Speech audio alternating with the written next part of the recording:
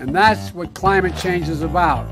It is literally, not figuratively, a clear and present danger. We are in the beginning of a mass extinction. The ability of CO2 to do the heavy work of creating a climate catastrophe is almost nil at this point. The price of oil has been artificially elevated to the point of insanity. That's not how you power a modern industrial system. The ultimate goal of this renewable energy, you know, plan is to reach the exact same point that we're at now.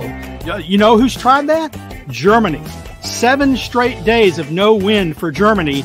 Uh, their factories are shutting down. They really do act like weather didn't happen prior to like 1910. Today is Friday. That's right, Greta, you pint sized protagonist. It is Friday, and this is our own personal Friday protest climate realism show. The new name, episode 101 Electric Trains, Planes, and Automobiles Going Nowhere Fast. I'm your host, Anthony Watts, Senior Fellow for Environment and Climate at the Heartland Institute. Joining us today, our regular panelists, Dr. H. Sterling Burnett, Director of the Arthur B. Robinson Center, and Linnea Lueken, Research Fellow at the Robinson Center. Welcome, guys, and happy Friday. Happy Friday, and today is Hat Day. Today is Hat Day, and I'm wearing my Texas Rangers official World Championship uh, uh, the, the greatest team sports victory in the history of mankind. And of course, everyone knows I don't exaggerate. Well, you're certainly justified in wearing that. Um, it, you know, they did a great job. It really was a great, great thing. Anyway, we're going to get to our regular topic, our main topic planes, trains, and automobiles in just a little bit. But first, crazy climate news of the week. And boy, have we got some for you this week. Scientists want to build a 62 mile long curtain around the Doomsday Glacier to basically contain all that meltwater. $50 billion, a Hail Mary. Yeah, right. That's going to work. What do you think? Sterling? Uh, I'm almost at a loss as to have anything to think. It's just so idiotic. you know, uh, what you know? What are they going to Is the curtain going to be black so it absorbs heat? Is it going to be white so it reflects heat? Uh, it, it, how did they tuck it under the glacier so it doesn't melt or move? Uh, if it's translucent, well, it might magnify the sun's rays, uh, act as a, a, you know like a, a spyglass, um, the, the the magnifying glass that you used to you know burn up insects with. Uh, it, it, it's just it, it's idiotic and this is how look glaciers it has melted in the past. It has recovered. Uh, all without human intervention either in the melting or the recovery. And this is just one more stupid stupid it's like you really feel it's a kid's yeah it's a kid's science it's a kid's science fiction story is what it is yeah, yeah. It's it's it's not even good science fiction. Yeah. Um, it's science fantasy. That's really what it is. Um, and and you know, and the first time some sea mammal gets trapped inside the curtain. Oh. Yeah, then what are they gonna do, right? Yeah, all your all your uh your uh your penguins migrate over there and then they get trapped and can't feed and all their young die and that'll be climate change's fault by the way. Yeah, right. That's climate change's fault, not the idiocy of the so-called scientists. All right, speaking of idiocy, historic dam removal in California. Now, there's been this issue with the Klamath River in uh, northeastern California, and the environmentalists have been wanting to take out the dams for years because, oh no, the salmon can't make it upstream. So we're going to get rid of all the dams. And in the process, getting rid of the dams, we're going to put hundreds, if not thousands, of people out of business you know, that are farming in the area, livelihoods for families. But we're not going to worry about that. No, we're not going to worry about that at all. It's the salmon that are important. We got to save the fish. And guess what? They took the dam out and then they killed all the salmon. They had all these fingerlings in the river and they all got squished in the new tube or whatever. Plus, that there's huge amounts of muck, sediment, mire that's now polluting the main river. It's an environmental disaster caused by environmentalists. And of course, a disaster in another way. It's not just the Klamath; it's it's rivers all around the Northwest. They're taking dams down. These dams weren't put there for no reason, by the way. They provide they provide hydropower. Most of them have ladders for salmon to go around. Um, but so they're taking out the only reliable, relatively reliable renewable source of power in the region uh, that keeps the lights on in California and elsewhere. They're taking those dams out.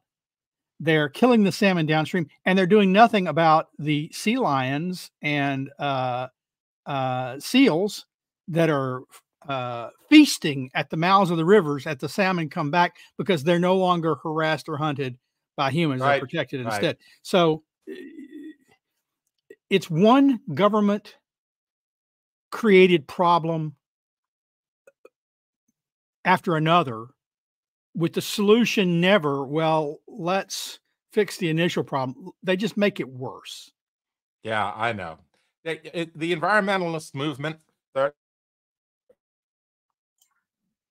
Whoops. He's been and- taken out. yeah, yeah, and then they don't look around as to what the you know the repercussions might be. Um, and it, it's it's the, we see the same thing again and again and again, like with offshore wind power and whales. You know, Ugh.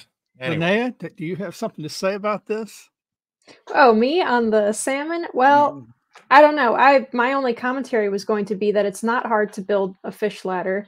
Um, most dams, I think, do have them at this point.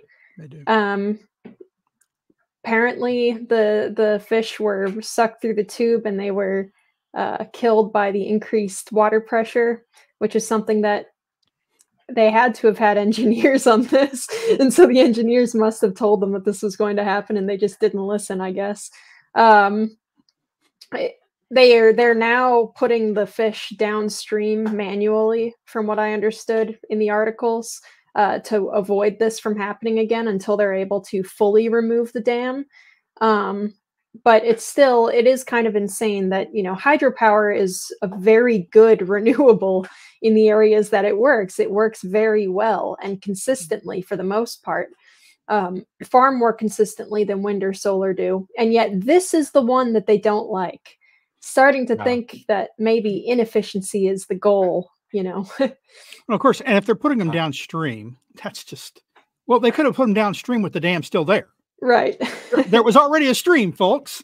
Just put them there if that's where they're going to go in the first. If you're going to put them in the first place, it's it's like yeah, it. yeah. It's well, once and- again, and there I they think- go. I think Linnea uh, may be too charitable. She thinks they hired engineers for this. My suspicion is they hired environmental engineers who who studied the new math, where one and one doesn't necessarily equal two. It's subjective. It depends on your feelings, and uh, this is the result. Yeah. Once again, they put the mental in environmentalism. All right, let's go to the next one. We've got uh, this guy who's smuggling greenhouse gases. This is hilarious. This is like something out of the Babylon Bee. This guy is smuggling refrigerant from Mexico into the United States.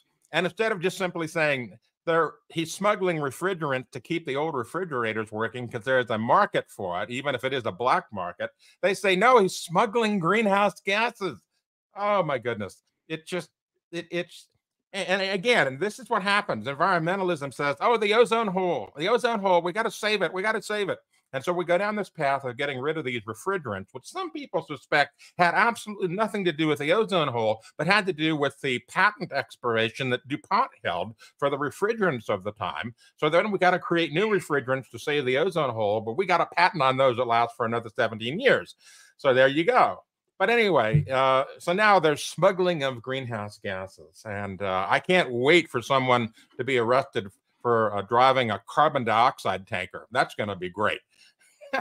Well, you know, the black market in uh, in CFCs and others have been around for a while.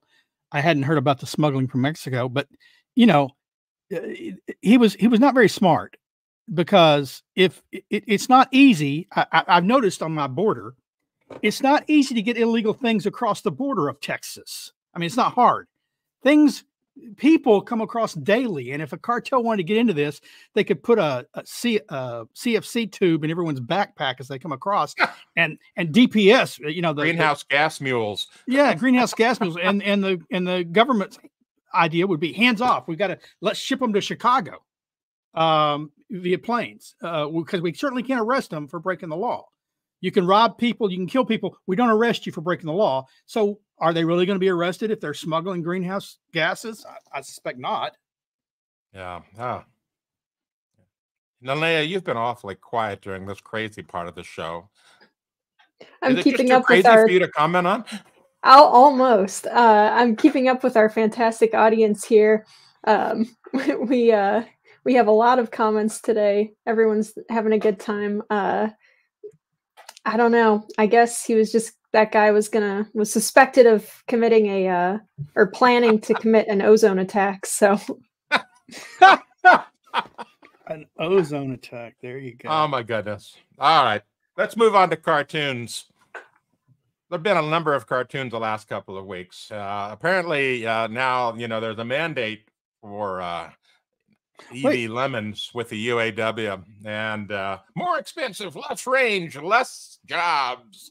That's all good for the planet, but not so good for the UAW. But apparently they're going along with it because there must be some kickback in there somewhere. That's how those guys operate. All right, next cartoon. We've got um, one about the electric Daytona 500. Yes, indeed. They want to make the Daytona 500 electric. Wow. The thrill the speed, the noise, the recharging weight. It's all fun. Yeah, the recharging weight, and and then when they have a crash, uh, they can't put the fire out. Yeah, they have to cancel the race and and restart two days later. Um, you know, but I want to go. I want to go back just for a second to that guy getting arrested. We have worried for some time about uh, people being declared climate criminals and prosecutions. He may be the first example. It, it's not it's not paranoid. It's not paranoia if they really are out to get you. Yep. Yep. Climate criminals. And finally, Greta. Uh, Dare Leonardo da Vinci use oil paint? Just happens to be something I found on the internet. It's true.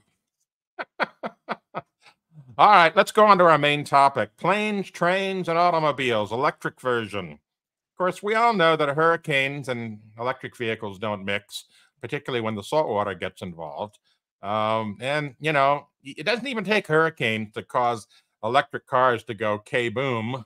No, they'll just do it on their own. You know, the, the movie Planes, Trains, and Automobiles is all about these different modes of transportation, you know? And they all failed badly in the movie, leaving Steve Martin stuck with John Candy in these hilarious situations. And now, with net zero being the latest nonsensical climate goal, we noticed that for quite a while, these different modes of transportation, now electrified, are failing just as badly as what went on during the movie.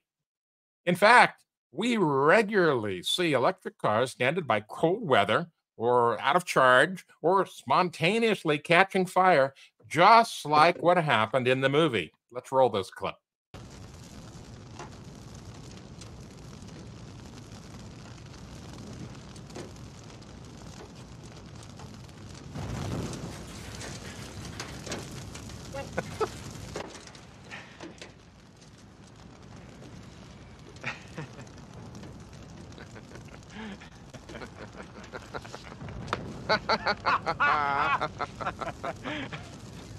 Yeah. What? That that's basically the sum total of it, you know? That we see this with electric cars now on a regular basis. In fact, with the hurricane situation, Hurricane Ian, uh, one of the auto junkers that has, you know, that hauled all these things away because they wouldn't run anymore, decided he's going to put them in this parking lot all by themselves and give them 50 foot spacing so that when one spontaneously combusts, it doesn't set the rest of them on fire. Hmm. Right? But what Very... about the grass? That's what I thought. That grass looked a little parched to me. I, I was about to say it looked like a yeah. pretty much a dirt lot, but but I'm not convinced that for a uh, auto junkyard that is a very efficient use of space. But that's just me. Uh, I've been to a few of them. They they seem to stack these things up in most instances. You you you go and and pull out your own thing. I, I, I'm not going there for sure. Well, well, Sterling, I think it's probably a better use of space than having your entire junkyard burned down. yeah, perhaps so. Well, you know, it is what it is. But um, planes, trains, and automobiles are all being electrified now. Mm. Um, you know, and um, I don't. I haven't seen this video. What's this one? Oh, there we go. There's one up in flames. Yeah, just along the side of the road. Just normal weather, normal travel, catching fire. I saw that. I saw that a couple of years ago uh, on my way uh, back from Austin through Denton. There was a an EV with no apparent accident damage. I think that it was just it overheated in in uh, rush hour traffic, and they had to clear the highway. Yep. Keeps the street warm. You know, electric planes have yet to capture the public attention, mainly because, given what we've seen with electric cars and their track record, who wants to be on an electric airplane? I mean, seriously, do you want to be on an electric airplane that might spontaneously combust? Mm. Yeah.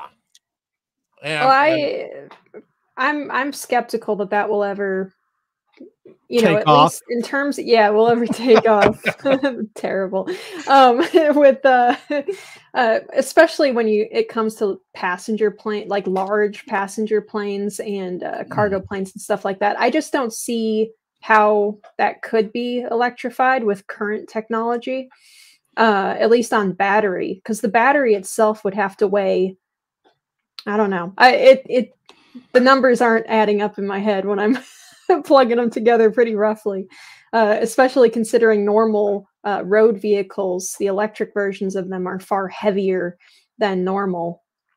And you have less range. So I can't imagine that an electric 747 would do very much good for anyone, even if it didn't just spontaneously catch on fire mid flight. Oh, you just you just put solar panels on the wings and and I'm sure they won't blow off. Uh, you can strap them down. Of course, that adds extra weight. Uh, I'm just trying to figure out how they think this is going to work. There may be a new battery that comes along. I have no doubt they're improving battery technologies, uh, but still, not me. Thank you. You might be able to come up with some kind of a hybrid electric situation. Um, you know, Formula One cars are part electric, um, but I, still. Well, uh, train engines are are yeah. diesel uh, electric, right? Um, they're they're they're hybrids. They have been for some time. Uh, yeah, electric... the, the, diesel engine powers the electric generator. The electric yeah. generator powers the trucks. Right. So I I there it's not the case that elect that electric uh, vehicles are always and all time a, a not bad idea. You know, we talked the, the first notion was trains, right? Well, we got electric trains everywhere. And uh, but but they're powered a different different way. They're not battery powered trains. Right. They're hooked up to overhead lines.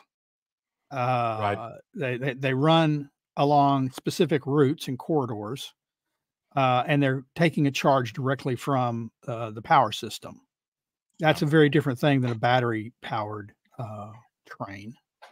I will say though, um, a Boeing being at the forefront of this doesn't give me at this point in time very much comfort. don't don't say that, Linnea. I have Boeing stock. Don't don't don't trash Boeing. I'm sorry, Sterling, but just today another set of uh, uh, landing gear fell off you're, another you're Boeing Max. you're killing me here. My portfolio is suffering every yeah. every word so, you speak. So after uh, Boeing and NASA worked together to produce an electric plane, they decided, well, you know what, this ain't going to work. so they killed the plan, citing safety concerns, because the decision not to apply the uh, to fly it came about because the agency discovered that the propulsion system had the potential to fail and put people at risk. Gosh, who would have imagine thought? that? Yeah, imagine yeah. that. Well, you know, um, uh, I forget it. Just forget it. You're just beside yourself too today, Sterling.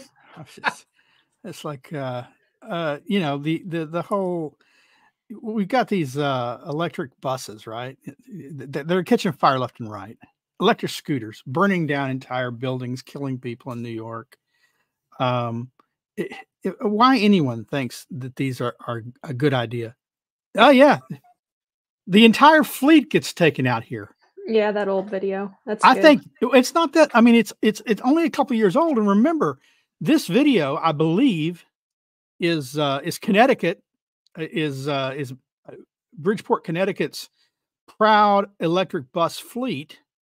That the day uh, before this fire uh, took hold, the the governor was proudly proclaiming that they were going to go all electric in their fleet in the state of buses of public buses and this happens the very next day and they have to pull them all and say no, whoa, whoa, whoa, whoa.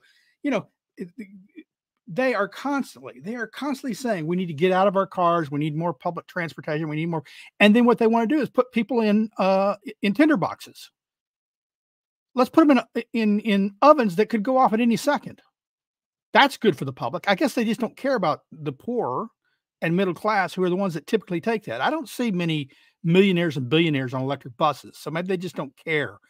Uh, it's not their kids; their kids are going to private schools, so maybe they don't care if school buses spontaneously erupt eh, or strand you in the middle of a Maine winter on a back road. Uh, Yeah. It just the whole idea of electric cars was killed over a hundred years ago. I mean, there were at the very beginning of Nearly the 200. automobile revolution, we had a couple of, of electric cars. One called the Detroit Electric. It looked like a you know an early version of the Model T, and it worked, but it only had a range of like 25 miles or something, which was fine for the time because towns were smaller. There were no interstates or freeways or whatever. But the bottom line is, even though that car worked for the environment that it was built for, it was surpassed by the internal combustion engine driven cars because they were so much better. And that's the whole thing. We keep getting pushed these, you know, these electric cars pushed on us, and they're not better. They don't have better range. They don't have better safety records. They don't have anything going for mm-hmm. them. And yet we're supposed to just like give up these habits of, you know, driving a gasoline engine vehicle and go for these electrics. And some people have done this. And what they've found is, hey, it doesn't live up to the hype. A lot of people who have owned electric vehicles, me included, have, you know, gone through the process and discovered they do not handle the long term or the distance. let's you, know anthony you mentioned electric cars have been around for uh, over 100 years now. The first electric vehicle uh, this technology the government has said we need to finance wind and solar. We need to finance evs why? Because they're orphan technologies. They're new technologies and we've got to get them started. We've just got to get some initial financing to get them started no the first electric vehicle was a train put on the tracks in 1837, nearly 200 years ago. It couldn't compete with steam, coal, and steam engines, right? Um, they said, well, it's the batteries the problem. The first electric renewable rechargeable battery was 1857 or 9. I wrote about this today in Climate Change Weekly. Uh, people people think that these are rechargeable batteries, new things, never happened before. No. 1857 still couldn't compete. Then you had electric cars. They had to compete with the internal combustion. They failed. These aren't new technologies. And they don't support they don't merit government support, especially since they ain't cleaning up the environment. Uh, they're dirtier than internal combustion engine vehicles through their manufacture, uh, through their operation, it turns out, in a lot of ways. Uh, they're not saving the planet from climate change as if it needs saving, as if we have the power to do that. Um, there is nothing to recommend these things other than if you don't get me wrong, if someone wants to buy an electric vehicle, I'm very happy for them to do so, but I shouldn't have to subsidize them. Yeah. Well,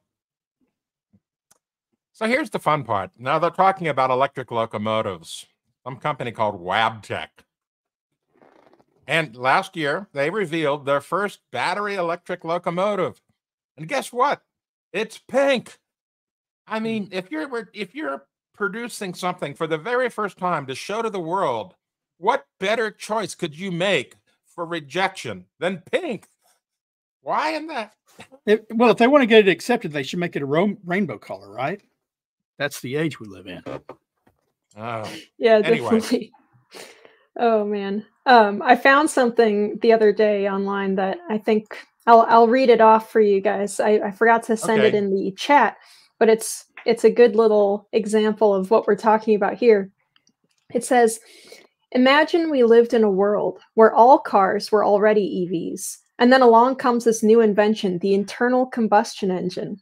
yep. Think about how well it would sell. A vehicle that's half the weight, half the price, almost a quarter of the damage done to the road. It can be refueled in one tenth of the time and has a range of up to four times the distance in all weather conditions.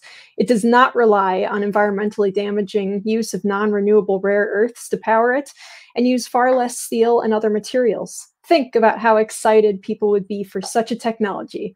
It would sell like hotcakes. Mm. Of course, they were excited in 1903 when, they did- Right. when they did compete directly. Um, That's true. you, you you need to send me that link. That's beautiful. All right, I will. Yeah. Yeah, I saw that too, Linnea. And you're right. It just people would be thrilled if all the vehicles were electric and all of a sudden this came along. Um, it, uh, but anyway, so there's this. We got this pink locomotive. Now the other company, EMD, is making one that isn't pink. Uh, win for marketing, right? Not pink. I mean, who wants a Pepto Bismol locomotive? The little engine that couldn't. excuse me. Um, but it's like the electric locomotive is fine if you're running from catenary wires. You know, you're getting your power from a central or distributed generator network. That's worked for decades and it's worked great. It's been wonderful for passenger service. But for freight service, where you got to go through the mountains, you got to go through, you know, uh, huge grades up and down and curves and things like that, is an electric locomotive really going to cut it? I mean, how do you put a charging station in the middle of the Colorado Rockies? Well, maybe they'll put a a a couple of tanker cars and a diesel generator there to Well- recharge the electric engine once it gets up to that point. I don't know. You'll But- have to build you'll have to build whole new sidings so that when one is charging, it's not blocking the tracks or all the other rail traffic going through, right? Look, we already have diesel electric. It is actually among the most fuel efficient transportation modes in existence. Why do they think to re- need to replace it with? And I I- look, I I'm not Superman. I've never tried to lift a diesel electric motive uh, uh, locomotive. My suspicion is they're pretty dadgum heavy. Uh, but think how much heavier a battery powered uh, uh, locomotive is. So how much of the the motive force, the power moving that has to go just to hauling the uh, locomotive itself, Batteries. much less all the train cars that it's supposed to be hauling. It's Yeah. Yeah. And and it just I don't think it's going to take off just like the electric plane. I mean, the first train crash with an electric locomotive, well, that's going to be, you know, a fiery disaster that they can't put out for days. Um, you know, unless they're using lead acid, but that's not likely to be practical. And the first electric airplane crash is going to basically kill that, just like the Hindenburg killed hydrogen powered airships, right? It's Well, you'd think. happen that You'd Hmm? think, but if if that was going to kill an industry, this industry would already be dead. How many people have died from fires in automobiles, electric fires? How many houses have been destroyed? How many tenement buildings in New York from a scooter, from a dead gum scooter, not even a car, not even a big truck? Oh, the scooter caught fire. It was just sitting there, burns the whole tenement down, kills the kids, and yet they're still on the roads, and the government's still pushing them. I'd like to think that the first time this happened, X, it would be over. But the evidence suggests the government doesn't care how many people these things kill. Oh, you have a point there. They don't seem to care at all. Um, we don't see these massive headlines that accompany these kinds of tragedies, like we would see, you know, from the Hindenburg, for example. Didn't see that kind of a revelation. Um, so, but you know, that's what it, it, it the whole thing is is that it's about a narrative. You know, we have to do this to save the planet. And the narrative is not about facts, it's about repetition, right? Yep. Right. I think there's another element to this that is usually not talked about by people in our area because we tend to focus more on scientific and economic arguments. But I think there's also a an aesthetic argument against these electric trains compared to like a steam engine. And that is that a steam engine is a beautiful piece of machinery. And I think our friends in Europe would agree with me on this. And that is that rail travel is is more beautiful and better when it's a steam engine and it's nicer to look at from a distance mm. compared to the sterile you know i don't know kind of urbanite vibe of the uh of the electric cars it's not a good fun. argument it's not an argument that i would present that i would present in a uh official capacity, but it's one that I think about all the time. Is mm, that you know these are okay. I I don't like them though. Linnea, Linnea would have us all go steampunk on all our technology. Yes. yeah. Well, you know, there's an there's the worst electric train out there is the one that hasn't been built yet. In California, they have the bullet train, oh, okay. right? The elect and, and this thing has been going on for over a decade. It was originally put to the voters who funded the bond, and then now it's gone like three times the expense. They still haven't got it built, and it isn't even practical because the the line that they set up for it basically goes uh, just up and down the, the San Joaquin Valley, just south of Sacramento, down to Bakersfield, and then once you get to Bakersfield, you have to get on a bus to go to Los Angeles yeah. because they're not going to build a rail line, you know, from Bakersfield to Los Angeles. So what good is it? I think Nothing. it was initially supposed to go from what San Francisco to, uh, to to Los Angeles or San Diego, even, you know, yeah. and and they've they've had to cut it back and cut it back. Now the route that they're actually they they promised they're going to build, it doesn't matter the cost. We just keep coming up with more money from taxpayers, uh, if not from the state, the federal government. Right. It's going to be a route that that nobody tr- transverses. Right. You know, it's going to be from one small town to another small town, relative you know, to California small t- towns. It's not going from a major metropolitan area to another. Um, it is uh, not a, it's true. Not a single private company would ever have built this boondoggle. Yep. If it right. weren't for government, this would not get built. And why government decided this is a good idea to go from Bakersfield to where'd you say? I got nothing against Bakersfield. You know, I think Buck Owens came from Bakersfield and maybe uh, Merle Haggard.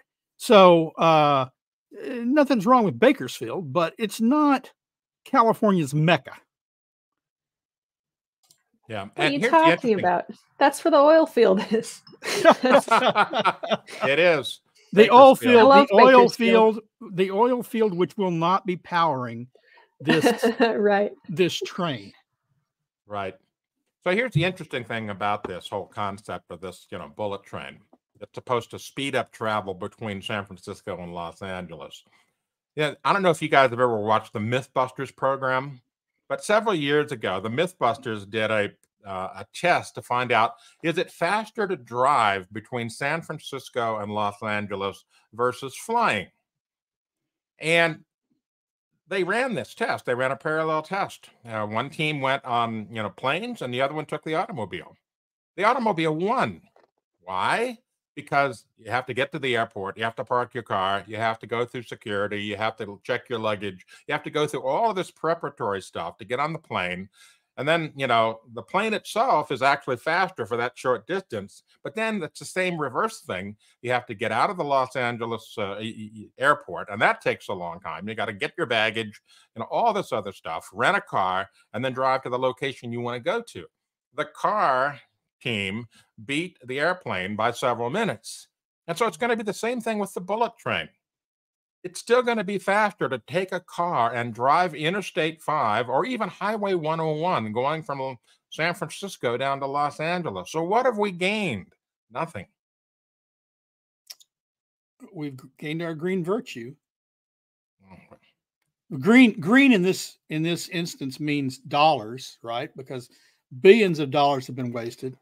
And speaking of billions of wasted dollars, uh, let's get back to automobiles because okay. you know we've talked about planes a little bit. There's not much to say. We've talked about trains. We probably said more than than it merits. Automobiles is where the action is at, and uh, the one of the wealthiest companies in the history of mankind, Apple, this week canceled after spending billions of dollars. Waste not, not spending, wasting. How do you know it's wasted? They didn't create a single electric vehicle that worked. And now they're canceling the project. That tells you they took stockholders' money, they took money from their profits and put it into a project that failed. And so now they're pulling out. No, no Apple electric vehicles. Uh, Rivian gotten infusions from government. Its uh, its stock is tanked. They're firing, laying off workers. Fisker's already gone through bankruptcy once. It's now a penny stock. Second, the second iteration is now a penny stock, and it's probably going to go under. Um, and Tesla, thanks to Joe Biden, is getting a lot of competition from China. Uh, so, God, environmentally, we can get into that later. Uh, but physically and economically, these don't make sense. I agree. Yeah, it's kind of too bad too with those Fiskers. I think it's a very pretty car. I like uh, the first iteration of Fisker. Yeah. you know, I looked into buying a used one. You know how long it was? It, the, the, the used Fiskers are not electric; they were electric hybrids. Do you know? How, do you know how far they could go on a charge without what? the gas? Twenty eight miles. Mm, yeah, that's not ideal. and then and then you got to bother with the fact that well they had leak you know it, it, would rain and it would leak. They were like the deloreans of their day. Really good looking yeah but but not really very cool. functional. Yeah. So you know the thing is i was an early adopter of electric vehicles way back around 2004 2005 and i thought this is great i really did at that time um, I've actually owned three electric vehicles. Uh, they were revolutionary for the time, and they were great for around town. But they all faced one fatal flaw, and that is the batteries would die. And um, I, I admit, I carried a small generator with me, right? Because I didn't want to be stuck somewhere. There was mm. no place to charge it, and it's still almost that way today. I mean, yes, you've got them, you got chargers and so forth at uh, you know places like uh, Target, uh, or you've got chargers like uh, you know along the highway and so forth. But you know, they're still few and far between. And the problem is, is that people just don't want to worry about that range anxiety. They don't want to worry about you know losing a charge they don't worry they don't want to worry about the cold trying to get over the sierra nevada affecting the battery performance and basically meaning they can't get from san francisco up to the ski resort which has happened. There's been lots of vehicles towed off of interstate 80 in the sierra nevada because they couldn't make the trip in cold weather. So what have we really gained here other than virtue signaling? I mean that's really all this seems to be right sterling? Well they built i'll say this they built a lot of infrastructure. Uh we have about 160,000 gasoline stations, filling stations in this country. We already have 180,000 chargers. And yet the government says we need to build 500,000 more government finance, but the estimates are we need 1.2 million more. That's how effective um, electric vehicles are. We've got 200,000 more and we can't keep them on the road still.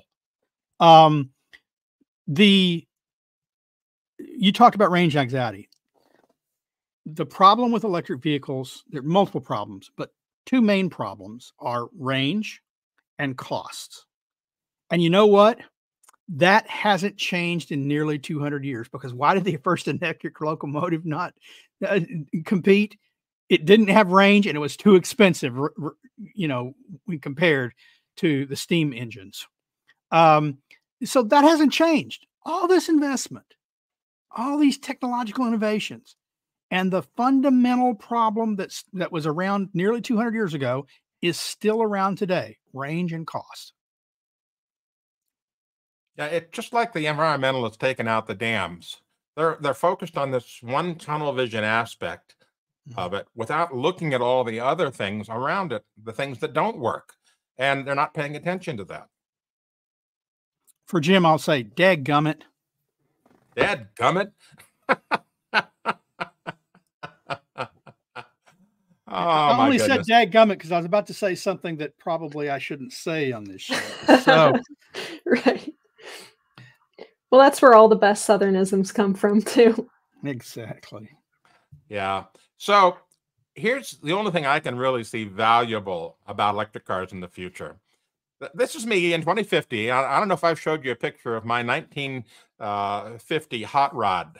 It- It's not this one, but you know, I've got a 1950 Chevy 3100 hot rod, which I intend to keep until the day I die.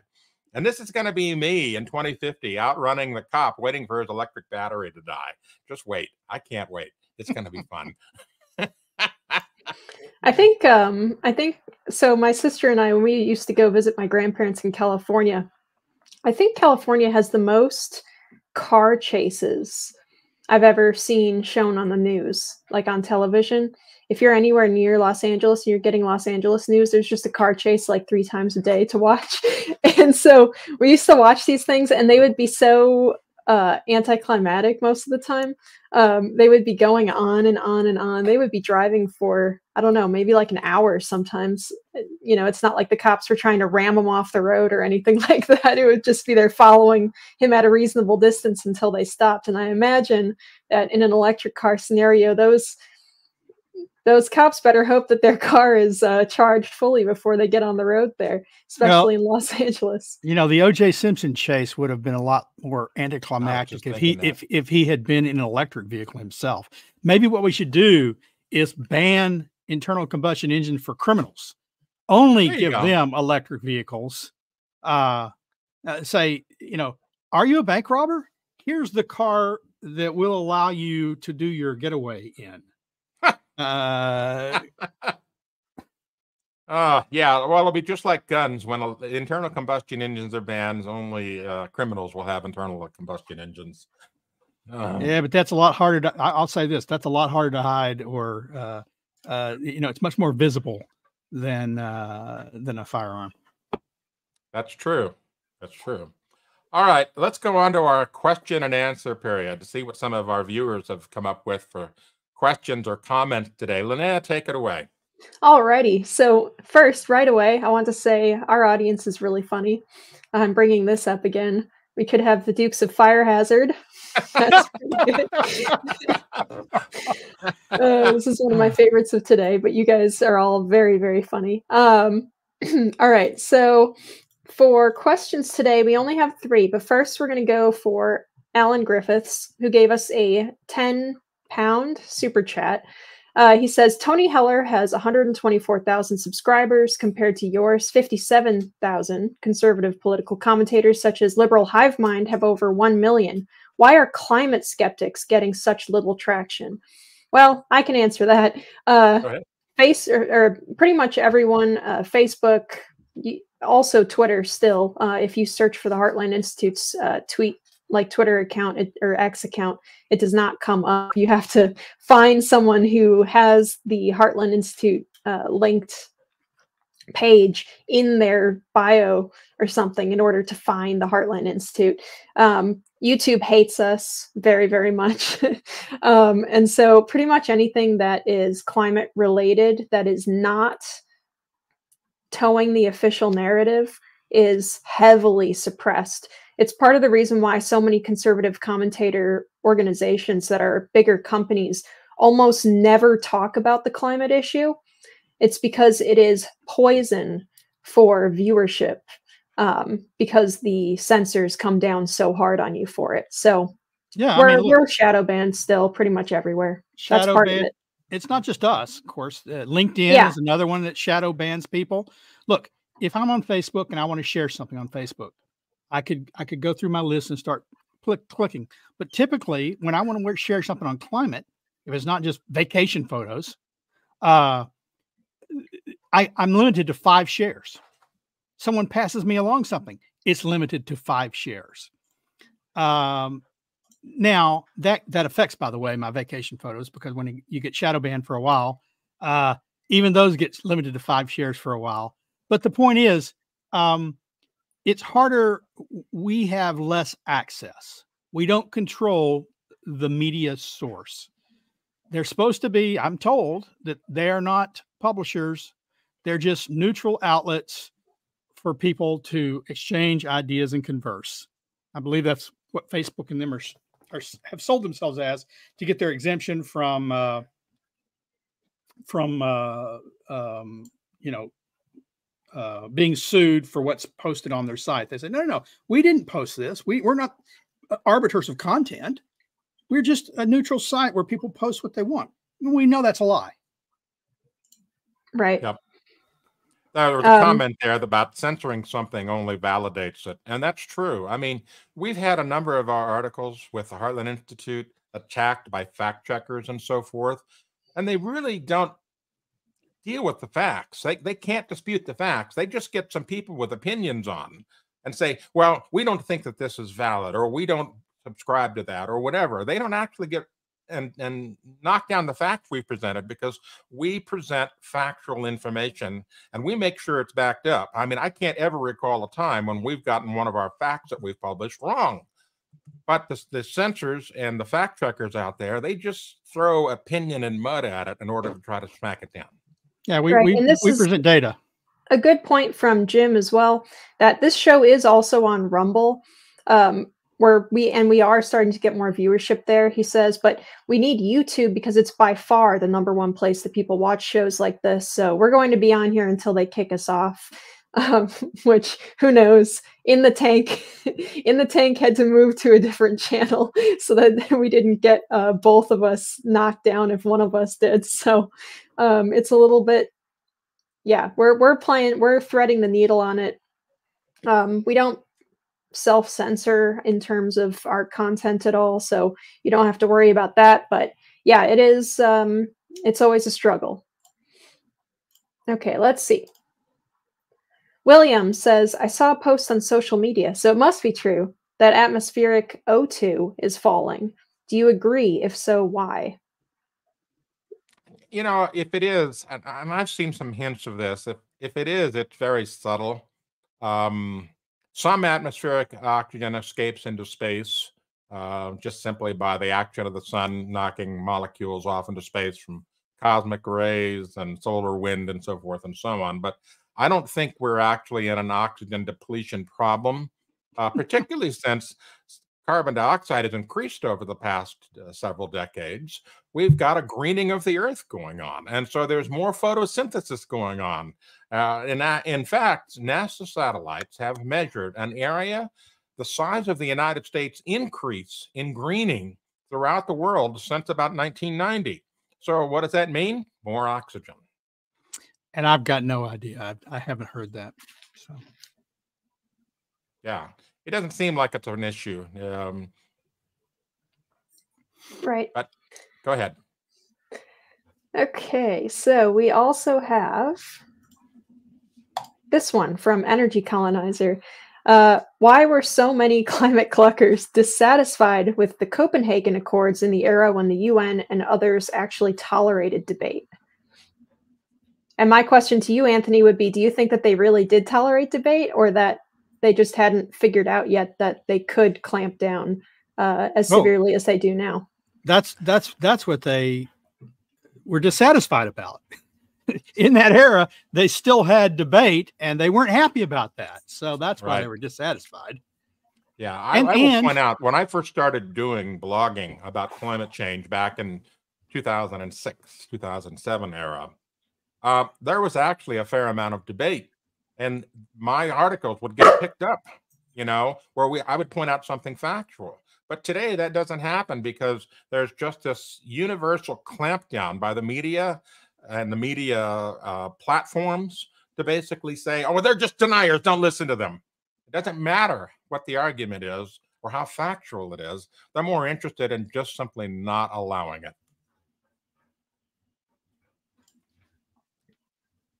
Yep, and uh, it's it's the same. It's the same thing with all the social media groups, and, and if you spend any time around conservative media in general, then you know that um, we've got something of a situation here where our uh, social media and the internet uh, kind of gatekeepers have really gone hard the last couple years, acting like a fourth branch of government, um, enforcing whatever the federal agencies want them to enforce um, when it comes to the unnameable virus that we don't want that we don't want to bring up on this particular show because it's uh, except in the uh, situation where we talk about how carbon dioxide levels dropped uh, it, but not as much not as named. anyone was expecting during that time um, and it's uh, anything you try to say about that obviously gets censored very abruptly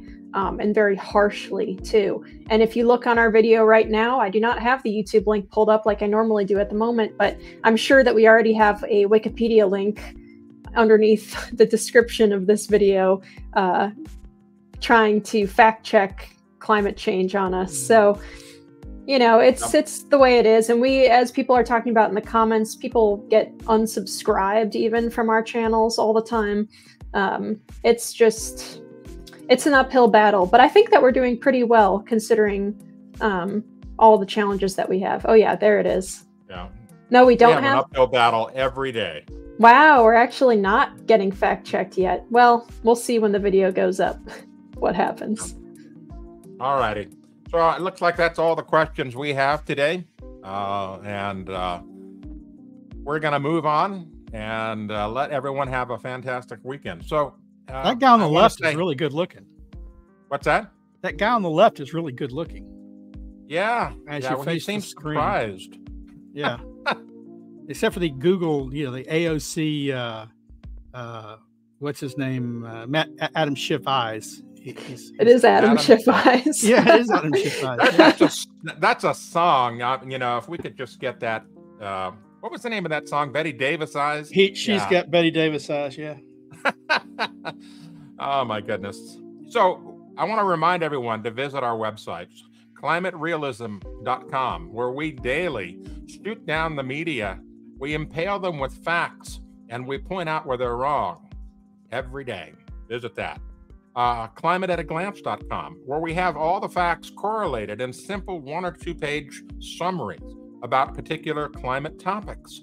Uh, we do that on a regular basis. We have one or two new articles per month getting into the different climate topics, and we've already got dozens up there that you can use for reference to factually shoot down some of the arguments that you encounter on the internet. We also have energyataglance.com, and energyataglance.com is Linnea's big project. It talked about all the different aspects of energy, from fracking to electric generation to natural gas to everything else. And of course, my own namesake, wattsupwiththat.com, where the it is the leading climate website in the world. And we've survived and outlived all of the other naysayers out there and continue to flourish, even despite the odds. So I want you to visit all those. So, Sterling and Linnea, thanks for joining us today. Thanks for your expert commentary. I'm Anthony Watts, Senior Fellow for Environment and Climate at the Heartland Institute, wishing you a great Friday and a fantastic weekend. Bye bye.